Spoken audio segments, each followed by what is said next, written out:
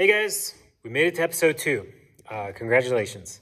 Okay, so um, I left off last time talking about uh, how I take my own uh, direction with Michelle's uh, warm up.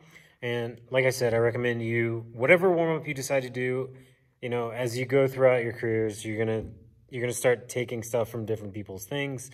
Um, make sure you cater it to yourself and your needs, even for that day, um, however you're feeling.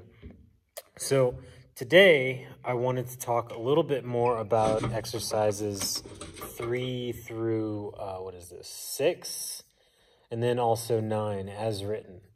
So we see a lot of 16th notes and, um, you know, our, our instinct is going to be like, oh, this is supposed to go fast. And that's how, you know, that's how we tell if we're in, we're warmed up or not.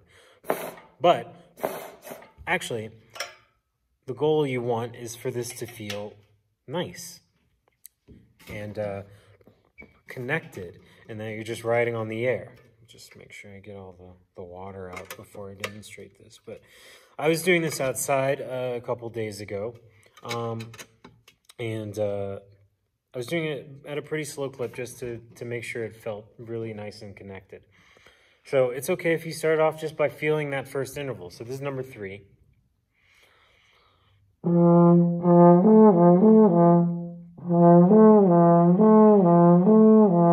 just remind yourself where that is and where it's easiest. And then at a pretty slow tempo. I don't know, what is this? This is below 60. yeah, yeah, yeah, yeah, yeah, like this. Mm.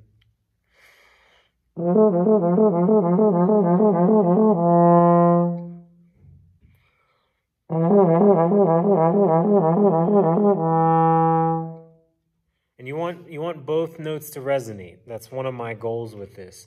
I want to keep the air moving, and I also want both notes to to sound uh, equally.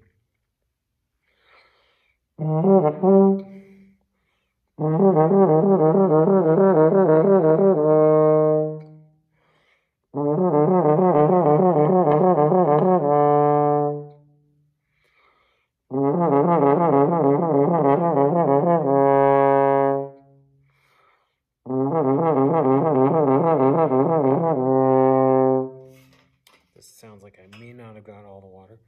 But um, yeah, nice and easy like that. I bet most of you, if you've done this exercise, you probably went faster. Um, I've gone faster too. But like I said before, we have lots of time right now. And so we have lots of time to do things correctly. So actually my plan with this, hold on a second. My plan with this is actually to uh, build up speed with this feeling just a little bit. I mean, this, this exercise doesn't need to go fast. Um, but with three, four, five, six, um, do the same thing. So with number four,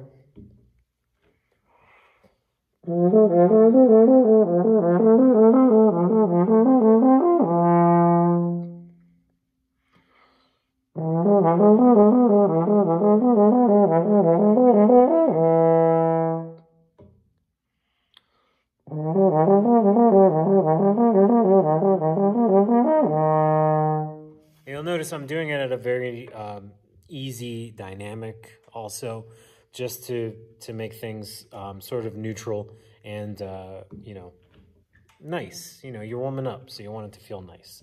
So number five is the same. I, I don't think I really need to demonstrate that. Number six is kind of the same thing. Now number six is kind of awkward because we start on that 16th note pickup. Now one of the things I do Anyways, one of the things I do, um, if that 16th note isn't really feeling good, I don't want to just trip over it. So one of the things I'll do is I'll, I'll sort of, I'll uh, lengthen it. So I'll, I'll change it into an eighth note.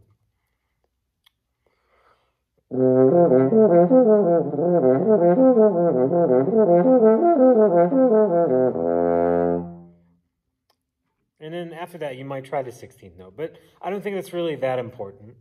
But one of the things that playing the 16th note fully will do, it'll force you to have your air going right away.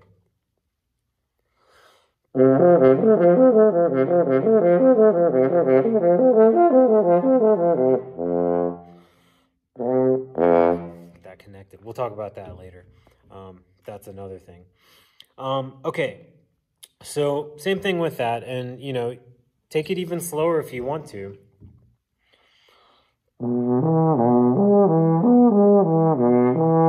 Doesn't matter how fast you're going. The flexibility is all there. Um, and you can build up speed later. The speed is the last thing that really is important to this. First thing is the airflow and the connectivity of the notes and the ease that you're doing. Make sure you're not you're not jamming the horn into your face. We all can uh, we all can be tricked into doing that sometimes. Um, okay, so talked about seven already. Um, eight, uh, I'll come back to later. Eight, I don't really do necessarily every day, but um, one thing you should know about eight uh, is to do it on the the F side as printed, so that you're just keeping the same fingerings through it. And it's okay if you hit uh, partials in between, um, but same idea. Keep it easy. Okay, so nine. We have these eighth notes, and we're not really given a tempo. Um, so I don't know if that's on purpose or not, but one of the things that it frees you up to do is to do it any tempo, right? So some days you're feeling better than others. Gauge, you know, how you're feeling, you know, and um, and make sure that your physicalities are, you know, not not uh, contrived. Um, you're not the the point of this is not to get the notes. The point of this is to get the feel. So I don't know how I'm feeling today, so we'll see.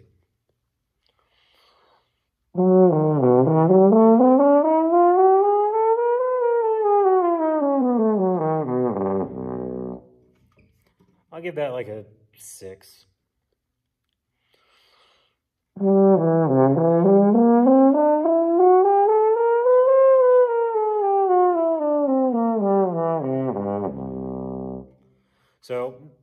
The next one I took a little bit slower and it actually felt a little bit better. I don't know how it sounds out there, but here it sounds better. Um, and then, you know, later on, maybe speed it up.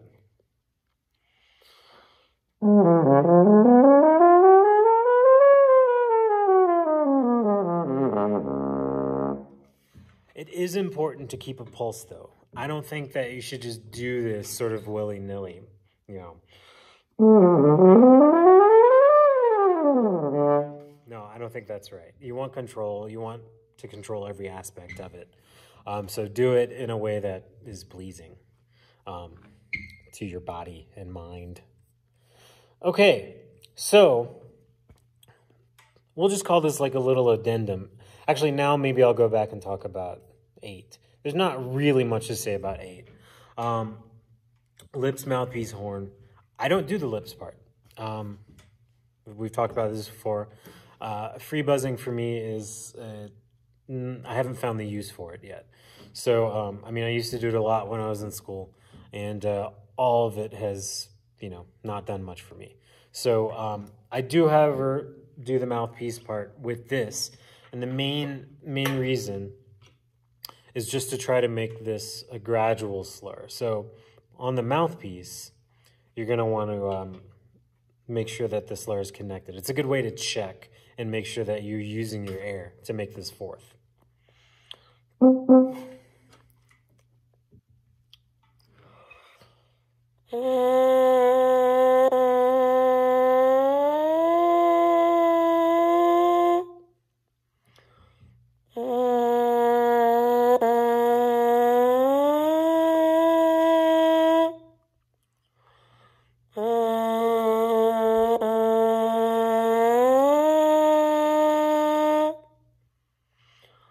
Make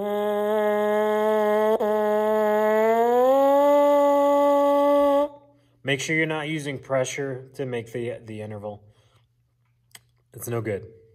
Um, and, uh, you know, when you do the slur on the horn, you can do it that same rate if you want. You'll get a little bit of the uh, partial interference.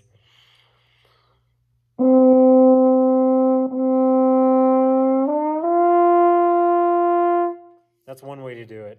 Um, or if you feel like that slur is connected, you can go ahead and just play as written.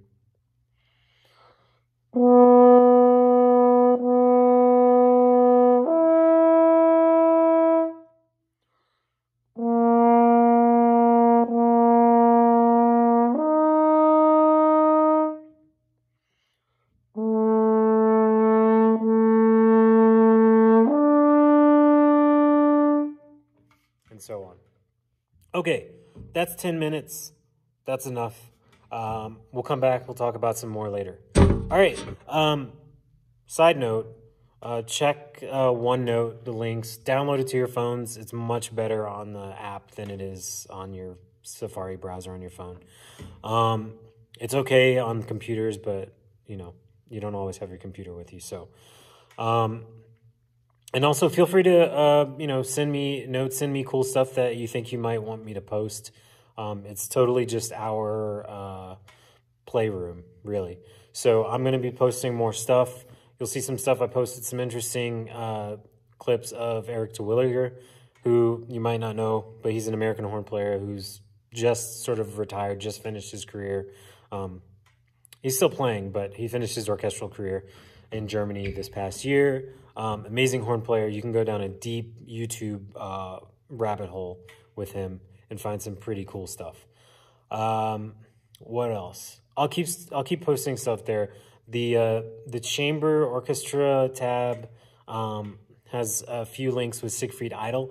That's going to be our first listening for studio class next uh, quarter. So if you want to get a jump start on that, go ahead. Um, if you have any questions, just send them to me and uh, I'll reply to them in the notebook or through the email, whatever I think is best. All right. Uh, talk to you guys soon. Ciao.